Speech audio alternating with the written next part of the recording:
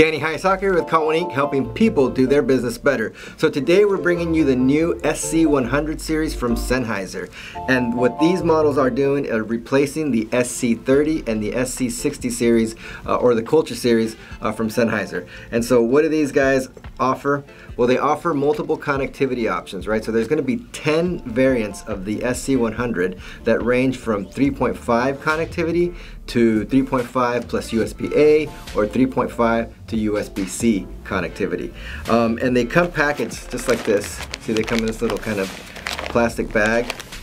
And what's included is this little pouch to sort of carry it in.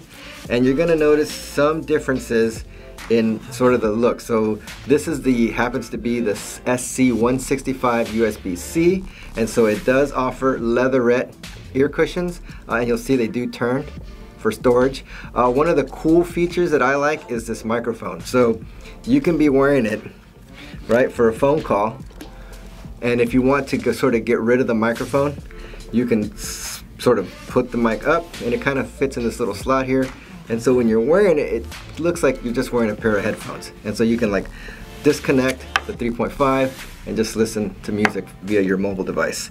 Um, or via your PC or laptop and you can just plug in that way. And this one here is the 160 USB and this guy here has foam ear cushions. It still has the same sort of fold flat speakers. It still has the microphone that sort of tucks in there. But what it does not have is the 3.5. So this is USB-A only. They're gonna range anywhere from $40 MSRP all the way up to $80. So they're not expensive headsets at all. So it's a nice price range for any enterprise to sort of outfit a large mass of their employees with these. The SC100 series are also compatible with all major UC platforms to include Microsoft Skype for Business. We'll do more uh, videos on these series because of course you guys want to hear what they sound like so we're going to go ahead and plug them in and do some audio tests so you guys can hear for yourselves how well these things sound.